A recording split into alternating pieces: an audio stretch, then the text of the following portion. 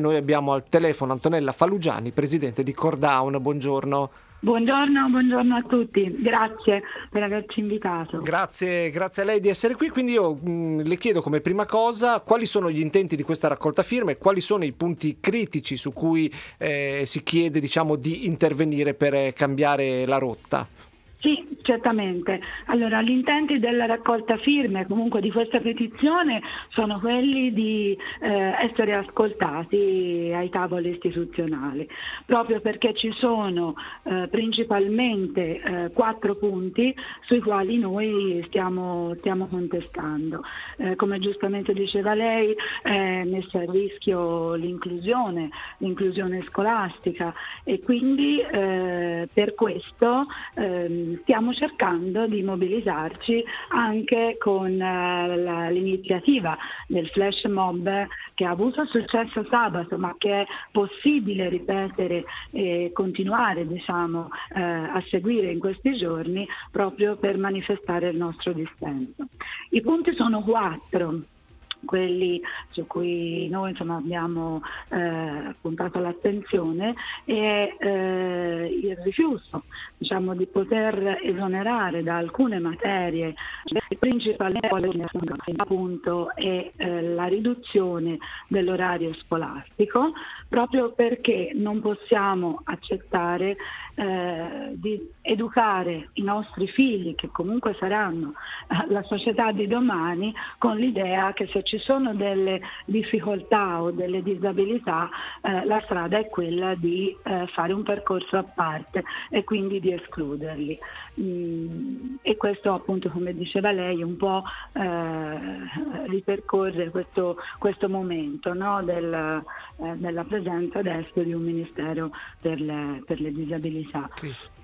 L'altro, il terzo punto è la modalità di decidere il sostegno attraverso il debito formativo che già come terminologia diciamo, non, non, è delle, delle, più indicate e il debito formativo mh, praticamente ora non so se è il caso di entrare nei tecnicismi però è mh, poter misurare tramite delle tabelle per semplificare eh, quello che eh, è diciamo, la, la differenza differenza, il gap tra l'alunno, il bambino con una disabilità e un alunno normotivo e quindi in base a questo diciamo, stabilire eh, le ore di, di, sostegno e di supporto. E il quarto punto, mh, non ultimo, la presenza della famiglia all'interno del GLO, che in questo momento è eh, stata indicata come partecipante, cioè la famiglia partecipa al GLO ma non ha più un potere decisionale eh, come lo era diciamo, fino, fino, a ieri. Quindi invece per noi la famiglia ha, ha un ruolo fondamentale proprio perché eh, nell'educazione del proprio figlio ha, ha, il diritto e il dovere di intervenire se qualcosa diciamo, no, non, è, non, è, chiaro o non, non è condiviso condivido. Queste quindi sono diciamo, le quattro criticità principali, principali che, che contestate e mh, cosa, cosa, proponete come diciamo, controproposta? Penso ad esempio anche al debito formativo, effettivamente non solo il nome non è particolarmente avvincente ma proprio mi pare anche tutta la modalità non è, eh, insomma si struttura in modo un po', un po discutibile. Rispetto a queste diciamo, quindi quattro criticità cosa, cosa proponete? Sì, bene, è un modo proprio del tutto diverso no? di vedere la scuola e l'inclusione scolastica. Eh, princip- cioè, prima di tutto dovremmo comunque prevedere la formazione a tutti i docenti, quindi docenti curricolari e non i docenti di sostegno. E, mm, e questo proprio per agevolare l'inclusione, perché questo succedeva comunque anche fino ad oggi. Più viene formato l'insegnante di sostegno, sostegno e più il docente curriculare tende a delegare il, il sostegno per quel determinato alunno. E quindi mh, cosa fondamentale innanzitutto è conoscere, essere formati, e dopodiché è possibile eh, pensare a un percorso eh, modulato sulla persona, sulle possibilità della persona, perché come abbiamo detto anche nel nostro slogan c'è sempre un modo semplice per spiegare le cose difficili.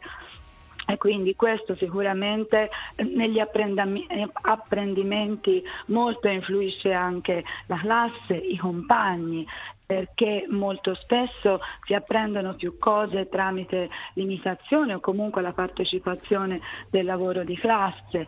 Se ci dovessero essere dei laboratori, ben vengano, ma laboratori eterogenei formati da piccoli gruppi di compagni dove si possono approfondire dei temi, perché poi il problema non è solo della persona con una disabilità intellettiva o di altro tipo, ma ci sono tematiche all'interno di un gruppo classe che possono essere benissimo approfondite eh, con piccoli gruppi. Quindi mh, è diciamo, una visione eh, generale, globale, un po' diversa da, da ciò che è stato proposto. Quindi principalmente si parla di inclusione, una scuola che sia inclusiva, che tratti tutti gli studenti allo stesso modo e permetta a tutti di eh, diciamo, eh, partire dalle, dalle stesse basi e arrivare agli stessi risultati. Sì, sicuramente, se non agli stessi risultati, perché questo sicuramente non sarebbe possibile, ma dare a tutti la possibilità di partecipare e di potersi inserire in un gruppo classe con i compagni proprio per poter ottenere il massimo possibile da, da quell'individuo, da quella singola persona, da, singolo, da quel singolo studente. Come mh, proseguiranno adesso, diciamo, co- come continuerete a farvi sentire? Lei prima accennava al fatto che il flash mob eh, è ancora, diciamo, ehm, attivo. Come, eh, appunto, come porterete avanti la vostra, la vostra attività? Bene, sicuramente eh, io invito tutti gli ascoltatori a, a, firmare la petizione perché chiaramente più siamo e più rappresentativi saremo anche ai tavoli istituzionali. Noi attendiamo di essere ascoltati dal, dal Ministero dell'Istruzione principalmente e, e poi eh, vedere a, a, al tavolo come è possibile eh, eventualmente modificare affrontare almeno questi punti chiave, questi punti cardini che noi abbiamo eh, contestato. Antonella, un'ultima domanda prima di lasciarci. Il Covid, la pandemia ha messo in crisi la società, la scuola in generale, ma probabilmente all'interno della scuola qualcuno ha sofferto di più. Sì, mm, all'interno della scuola sicuramente e non solo all'interno della scuola. Purtroppo i nostri, i nostri, ragazzi già hanno una vita sociale limitata e quindi sicuramente la scuola è ed era un momento di aggregazione che è venuto a mancare. Eh, la didattica a distanza ha penalizzato i, i nostri alunni, i nostri figli per più motivi, inizialmente proprio per una difficoltà nel collegarsi, nel seguire le lezioni. E poi talune volte anche diciamo, con il rientro in classe abbiamo assistito a eh, casi diciamo, dove i ragazzi erano isolati, cioè da soli in classe con l'insegnante di sostegno a seguire la lezione. Quindi mh, anche qui ci sono state mh, diverse difficoltà e poi eh, diciamo, speriamo che con uh, l'arrivo dei vaccini si possa anche uh, giungere a una non dico normalità, ma insomma a tornare in classe e, e, poter proseguire il percorso scolastico veramente in modo più inclusivo possibile.